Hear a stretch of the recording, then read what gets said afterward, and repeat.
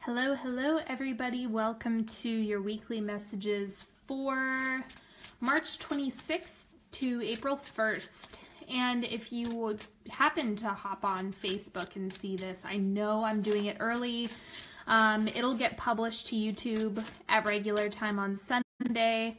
Um, but I'm not going to be able to record this on Sunday, so that's why I have to do it super early this week. Okay. Hello, everybody. Thank you for hopping on. I'm going to keep it simple today. I still have to pack and do a bunch of stuff, so um, I'm just going to get this in.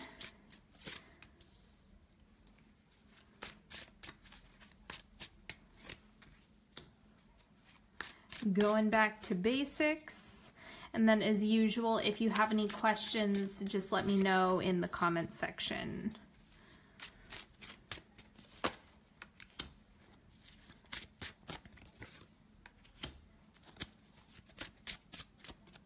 Okay.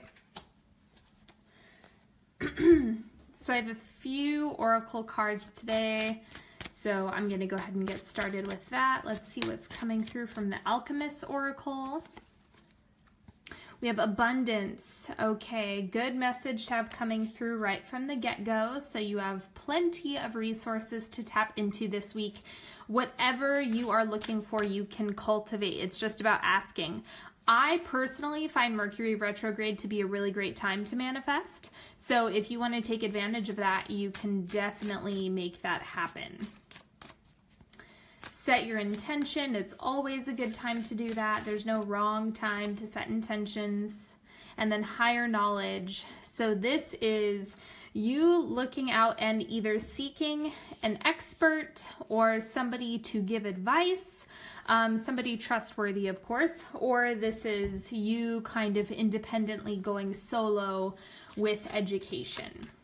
Okay, so higher knowledge, this is more of like um, an institutional or like proper form of education is coming up as being really important. So data, research, teachers, scholars, and then I have the affirmator, the affirmators cards. These ones are more relationship based, but I'm to pick two of them. Okay, so the first one we have integrity. I align with the center of myself, a glowing core of personal integrity. Emanating from this core is the knowledge that I never have to compromise who I am for what I want, for anybody. I can live a life that doesn't include settling unless I want to settle, in which case settling would be my idea of perfection and would cease to be considered settling. Ugh, paradoxes hurt. Okay, so that is the first one. I love these cards, they're so cute. And then the next one we have coming through is honesty. This heralds a wonderful time of rooting yourself in complete and total honesty. It might seem scary to tell the truth all the time with everyone about everything, but when you practice radical honesty, you can stop hiding and start relaxing. The best part is honesty from you inspires honesty from others, what results in a rootin' tootin' trust and parade, and everyone's invited, except the bagpipe players because you know they'll show up anyway. Okay, so it's definitely, you can see there's a theme. Speak your truth, ask for what you need, be honest about where you're at, and trust that it's going to be received. Okay, so I'm to do the um, Celtic cross and then I will clarify with the Sovereign Oracle. okay, and then there's still two weeks left on this campaign. It's definitely a go, so if you haven't had um, time to get yours, it will either be in the description box on YouTube or the link is all over the place on my Facebook page. Okay. So the central energy this week, we have the Empress femininity. And again, this has to do with receiving, similar to the abundance card. So that's really the um, that's really the theme of the week. If you're honest with yourself, if you're having personal integrity, if you are doing the right things that are in alignment for you, you really can't go wrong. It's when you're out of alignment that you start getting all of this gobbledygook coming into your space. So make sure that you're being honest and trusting that things that are right for you will be attracted to you. And that's true for resources, people, opportunities, whatever you're looking for at this time. The crossing energy, we have the Nine of Cups. Ask. This is the Make a Wish card. So if you want to take a moment to make a wish, you're welcome to do that. But this is really what's going to make this happen is asking for it. And the more you're comfortable with that, the easier this week is going to be, and the easier it's going to be to cultivate support from the other areas of your life as well. So, this is a good week to practice, especially if you're uncomfortable with it. Um, I know that communication can get kind of murky during Mercury retrograde, but don't, I, I, mean, don't give it too much thought. You practice can be small. You don't have to take quantum leaps. You can just do little baby steps when it comes to communication when it feels right. And then also asking your guides, angels, divine source, whatever you work with, um, asking, making wishes, having them send things your way. Okay, the what's shifting out is the Hierophant. So this is rigid thinking. What that means is if you're getting too trapped in thoughts of one, you know, one way is the right way. Um, the lack of flexibility in terms of the way that you are receiving information, behavior, relationships. It's kind of like with the Hierophant shifting out, that means you're coming into expansion and kind of reviewing what it is that you are doing within yourself to perceive things a certain way. So, this is all about perception. It's all about the old belief systems shifting out. The old black and white ways of thinking are shifting out, and you're calling in more of the gray area.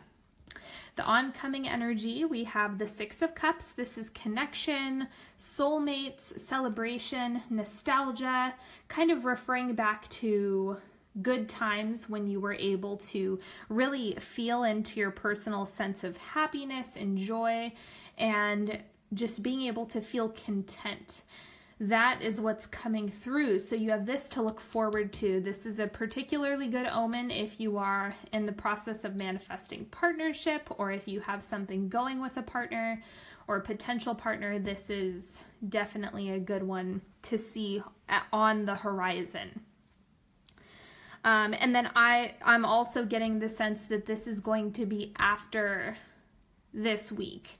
So this is like present time with shifting out, and then this is coming after the the first of April.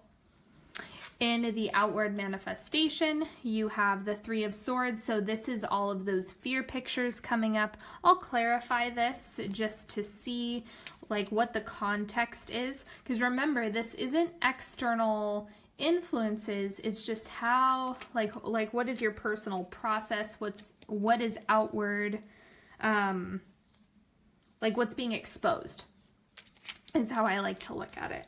So let's see.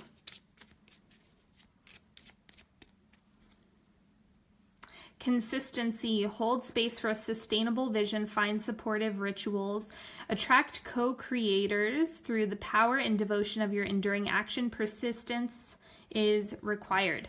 Okay, so this this means that you might have good days, bad days, good days, bad days. It might feel a little bit more turbulent than usual.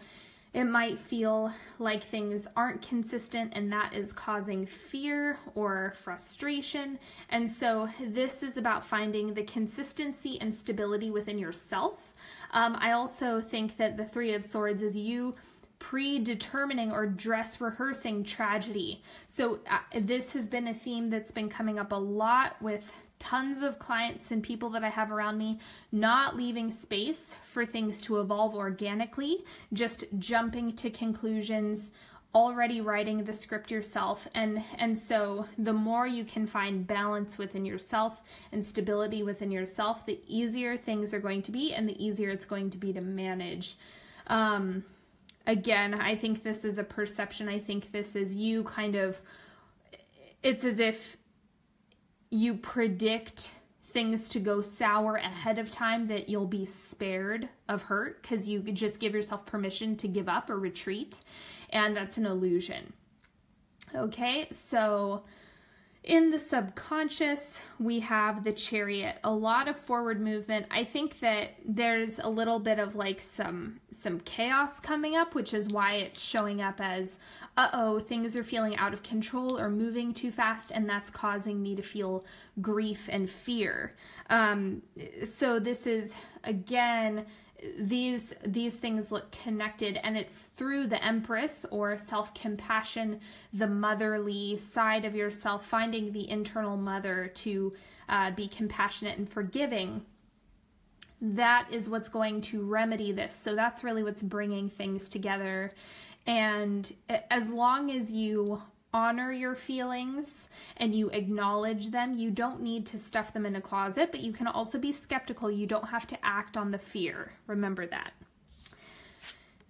The advice for you this week is the Wheel of Fortune. Again, this is leaning into uncertainty. My new favorite um, interpretation of the Wheel of Fortune, because if you guys have been on my channel long enough, you know that it's one of my least favorite cards in the tarot deck. I don't like unpredictability.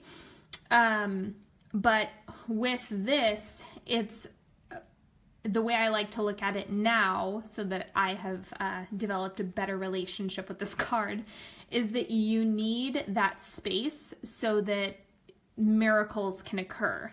If you already know exactly what's going to happen at every single moment, then there's no space for things to be better than you expected. And so, with the uncertainty comes better possibilities and the potential for better things to come in rather than just predicting heartache, predicting loss, predicting tragedy when that's not always the case. Sometimes it is, that's why you have to be honest with yourself. Um, but at the end of the day, if you leave a little bit of space, if you have a little bit of skepticism, a lot of things can occur that are far better than you expect. The external influences, we have the star. See, things are falling into place even if you can't see it. Things are going well. It's kind of like this is alignment with your destiny. I'm using that word loosely because I don't like it. Um, it's just kind of like yes, there's there's a bigger picture at work. There is a lot of stuff going on behind the scenes and the more you can trust and kind of loosen your grip on needing to know what comes next, the faster it will manifest. So letting go and surrendering. I know it's very cliche, but the more you can do it, the faster you're going to create the space for things to come in the hopes and fears, we have judgment. This is you being in the incubator. So I think that there's a certain level of, I need time and space to process. And there's also a little bit of fear of things becoming dormant. And I do think that that has to do with the astrology this week. Um, as we know, Mercury retrograde is going to slow things way down. And because of that, it can feel like things have become you know they, they're just at a standstill. But that's not the case. It's just you know asking you to revisit and revise during this time. So it's not a negative. It's just you know it's a it's a part of having a human experience. Okay so i'm going to clarify that one for the hopes and fears. Resources the time has come to look outside of yourself. Trust that all you need to make it possible is on its way to you. Lay the bricks that will create the path to your destination. So, really look at what exactly have you been doing that isn't working. And it's the time to take a break so that you can figure out what do you need. Reevaluate, look at what type of resources do you actually want to come into your space? What is the most important? You can get everything you want, but maybe not all at the same time. So figure out what you can feasibly do first, what you'd like to focus on manifesting, and just take bite-sized pieces. You don't have to you don't have to do everything all at once. So that is what's coming through here and then the outcome of the week where you're being left off is the two of swords. This is kind of a joke that i know that this deck has a very particular sense of humor. Um, and so what this is saying is you need to go back to basics. You have to go back to leaning on the uncertainty. Yes, I'm going to, the deck is essentially saying, yes, good things are on the way, good things are happening, but you have to be comfortable not seeing ahead and not knowing every single thing that's coming your way. So I'll pull one more Sovereign Oracle card for the Two of Swords.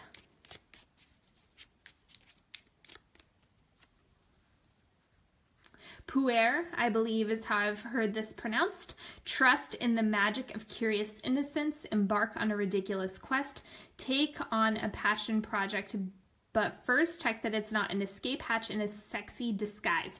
This goes back to the honesty and integrity piece. So this is also, this also has to do with, um, you know, not, now this is looking like don't, don't put on the blinders. You can also look at the reality of what's going on. Um, and it's just about not diving into unhealthy behaviors to cope with them. You want to make sure you're still staying grounded throughout all of this. And be the innocence piece is referring to be open to what's coming next. Be open to um, not knowing. Have that that childlike naivete. A lot of kids, you know, they have the the really really nice thing about innocence is they're not jaded to the point where they're predicting the Three of Swords at every turn. So if you can find your way back to that, it's going to make this week a lot easier. Okay, so that is all that I have for you this week. I certainly hope you've enjoyed this reading.